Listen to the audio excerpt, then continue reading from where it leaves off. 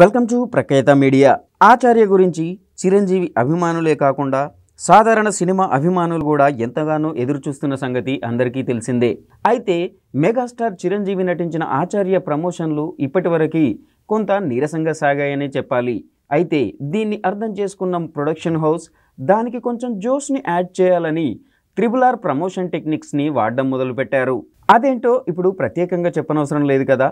Triple R హీరోలని దర్శకుడు రాజమౌళి మరో top director Anil Ravipudi interview చేశారు. దానికి చాలా మంచి రీచ్ వచ్చింది. ఇప్పుడు ఆచార్య విషయంలో కూడా అదే చేశారు.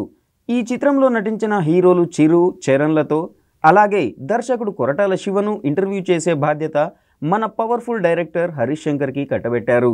హరీష్ తన స్పాంటినిటీతో నైపుణ్యంతో ఆచార్యకు సంబంధించి కొన్ని ఆసక్తికర విషయాలని ఈ హీరోల నుండి అలాగే దర్శకుడి నుండి కూడా బయటికి తీయడానికి ప్రయత్నించి సక్సెస్ని సాధించారని చెప్పొచ్చు.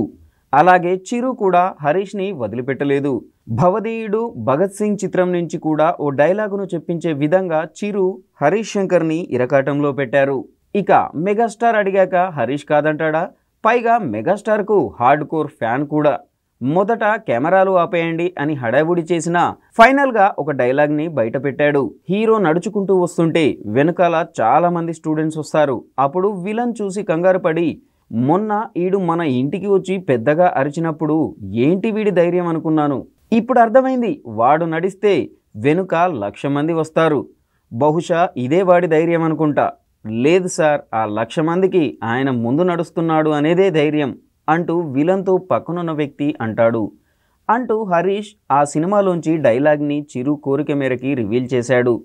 హరీష్ ఈ డైలాగ్ చెప్పిన తర్వాత ఇది మెగా లీక్ అంటూ చిరు సెటైర్ వేశారు. పనిలో పనిగా చిరు నాతో ఎప్పుడు సినిమా అంటే కళ్యాణ్ గారితో అయిపోయిన వెంటనే మీతో చేయాలని ఉంది అంటూ హరీష్ కూడా తన ఉత్సాహాన్ని ప్రదర్శించాడు. ఇలా ఆచార్య ఇంటర్వ్యూ చేసే ప్రాసెస్లో భవదీయుడు భగత్ సింగ్ చిత్రం నుంచి తన డైలాగ్ని తానే రివీల్ చేయాల్సి వచ్చింది.